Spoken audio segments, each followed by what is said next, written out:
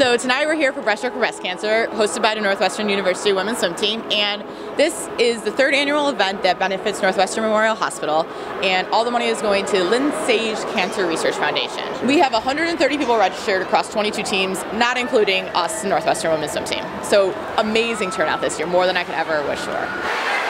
My sophomore year on the team, uh, Jackie Powell and Megan Goss were juniors, and they started the event because Megan Goss's mom was diagnosed with breast cancer. So it's a really personal thing. It touches the team, and we all want to be here to help me, a great friend, but for everyone else, alum and previous people on the team. We're all connected to who's been a part of everything. So we're here for them, and we really want to make sure that they know that we want to continue what they started.